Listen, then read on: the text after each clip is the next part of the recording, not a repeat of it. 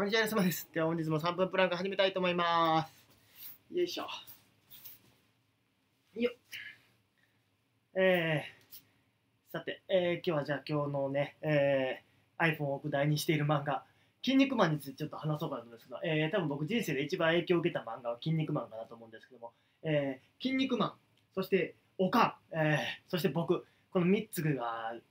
関係する思い出の話をちょっとしようかなと思うんですけども、まあ、なぜ筋肉マン漫画が僕、小学も小さい時からすごい好きで、まあ、いわゆる金消しとか流行ったじゃないですか。まあ、あのよくいろんなところが話してる、えー、あれなんですけども、クリスマス、えー、やっぱ子供なんで、えーと、プレゼントを期待して、サンタさん信じてますんで、えーと、寝る時に自分の枕元に好きなもの、欲しいものを書いて寝るわけですよ。靴下を置いて、僕は筋肉マンの金消しが欲しいって書いて寝たんですね。えー、もうしばらく低学年1年とかだと思いますよ。え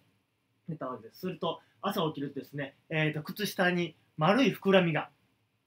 あるのが見えて、あサンタさん来たと金消し来たぞと僕の丸い膨らみだったんで、あの、こう、ガチャガチャのね、えー、あるじゃないですか、ガガチャポン。入ってるあれが靴下の中に入ってるのですやった金消しだと思って靴下の中に手を入れてパンとそれを出してみると、えー、みかんが出てきたっていうね。その時ですね僕あのあサンタさんっていないんだって、えー、思ったの。思わず「おかん!」って言いました。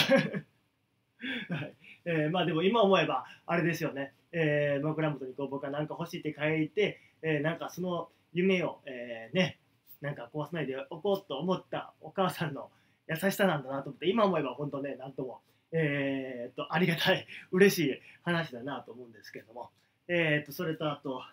えー、おかんと筋肉マンと僕っていう話で言うとまあだから小学校12年の頃まあ本当筋肉マン大好きだったんで、えー、近所のスーパーにねなんか一人でふらふらっと買い物に行った時になんかキャラメルかなんかだと思うんですよね小さい。それにおまけで筋肉マンのなんかおもちゃがついてたんですよ。まあ僕それが欲しくて一人でこうぼーっと眺めてて、えー、小学1年生ぐらいの僕は思い出すわけです。こっそりポケットに入れたらバレねえんじゃねえかっつってね、えー、まあ魔が差しましてというかそのキャラメルをパッと取ってスーパーレジを通らずにそれを取って出ていったわけですよ。するとこれが、えー、ちょうど近所ですから、えー、夕飯の買い物に来たおかんとばったり出くわしたんですよね。えっと当然僕キャラメルのあれ片手に持ってますんで店から出たところで。おかんはそれ見つけてまあ怒りますよね。なんやあんたそれどうしたんやと。これ欲しいんかと。なんでお金も払わんと出てきたんやつってまあまあ当然おかんもいろいろ分かってるんで僕は平謝りですよ。まあおかんも悲しそうな顔しておかんが私がお金払ってるっつって、え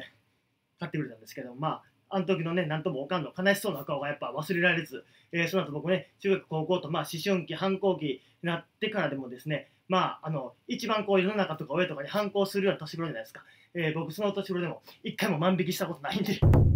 別に自慢じゃないかもしれないですけど、っていう自慢です。ありがとう